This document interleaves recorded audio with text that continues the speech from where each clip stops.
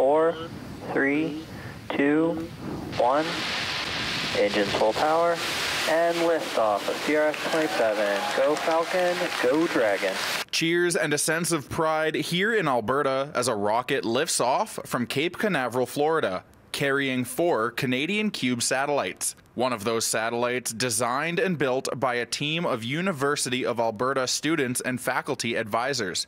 The mission to predict, monitor, and assess wildfires and their after effects. We can determine the soil health, the vegetation health, and see how areas evolve from pre-burn to active burn to post-burn. The project inspired by the tragic 2016 Fort McMurray wildfires that ripped through Alberta, devastating communities. It hit close to home because it was right here in Alberta, and so like Fort Mac is like just up the road from us, and we wanted to like it, it really inspired us to do something. Ex-Alta 2 is one of four Canadian Cube satellites hitching a ride to the International Space Station during a routine resupply mission. From there, the loaf of bread sized device will be ejected into space to begin its mission, collecting data from areas around the world to develop a model for predicting wildfires. And while the hope is it can eventually act as an early warning system, getting into space is just the first step. Journey doesn't end here.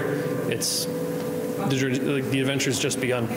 So the, the next big journey is actually operating it and getting data back and flying satellite for the next couple years. The Ex-Alta 2 satellite is expected to hover above our world for the next 18 months. Researchers say it may even lead to a better understanding of how fires can threaten economics and infrastructure like power grids. In Edmonton, Elliot Knop, City News.